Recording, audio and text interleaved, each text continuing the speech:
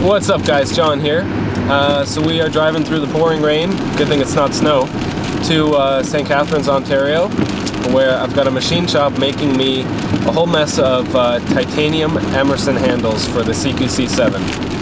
Uh, so we're going in right now to check in on things and they said they're cutting the first batch so we're going to check it out and um, we'll shoot all kinds of cool video and see what they're up to.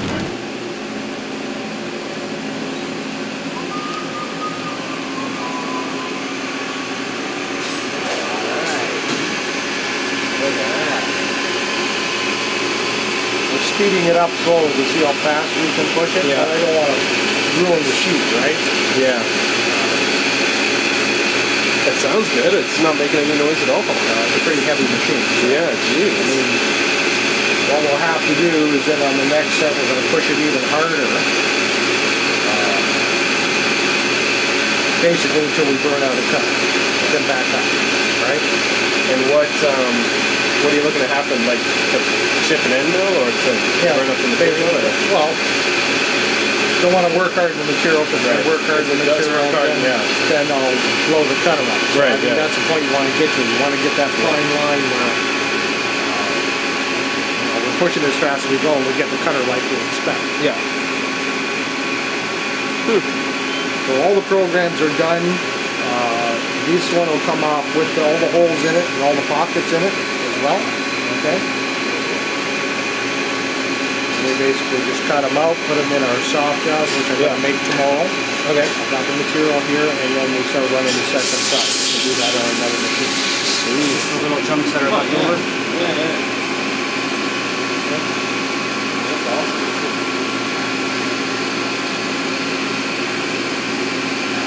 Perfect.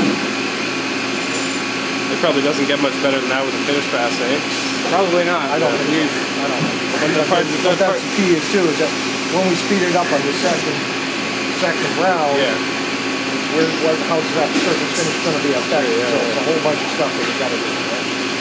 I'm still going with the same chip per tooth. Right.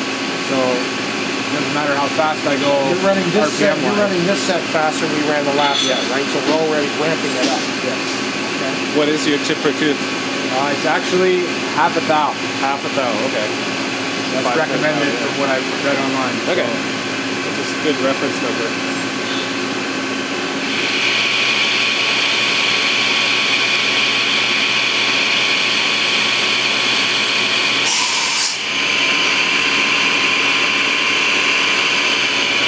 I can't believe how good that sounds. It's not making any noise at all. Key with the titanium too, you have to run it slow. Yeah. Actually slowly. So what do we got? 1200 RPM. What's the feed rate? 2.4. 2.4, okay.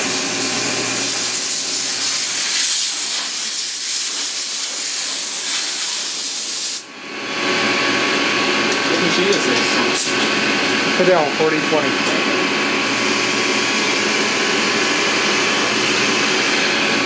So the parts are running away, they sound great, they, they work great. Um, Niagara Precision's doing a wonderful job and uh, couldn't be happier.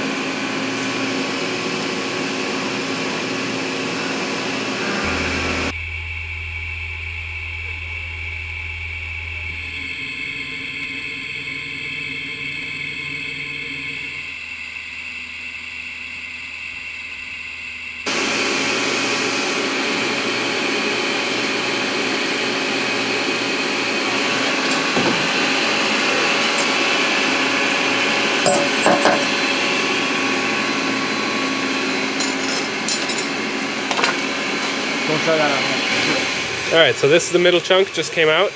Um, instead of doing a roughing pass and then a finish pass, they decided to just do one single pass. And the surface finish is great, so it worked out perfect.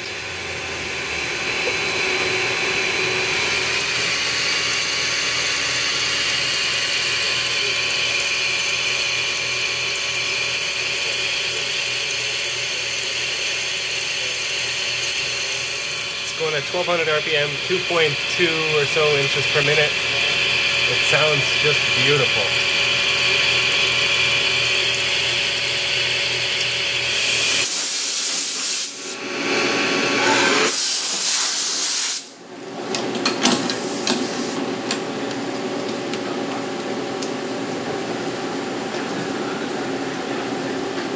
So these are my aluminum versions. This is the uh, display side, I believe, of the handle. 14 of them. Got the profile all done. Next they're going to do the pockets and then drill the holes. And then later they're going to, another day, they're going to make soft jaws that are going to clamp it down like that. And then do the corner rounder and then face it off. And put my logo on it. So that's another day. This look awesome.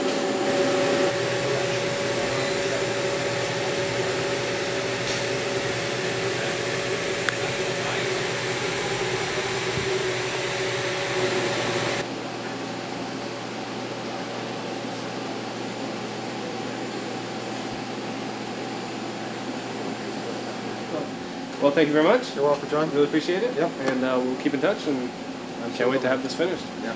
Hopefully, this will be project. a long and lasting relationship. We hope so. so that wraps up our trick, trip to Niagara Precision. Uh, he lent me a magnetic base, so I'm going to make a little bracket so I can mount uh, GoPro onto this, and then we'll put it in with the machine.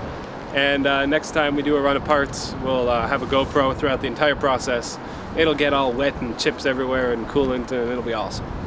So uh, thanks for watching, guys, and stay tuned. We'll do more videos from here and at home, obviously. And uh, take care. Bye.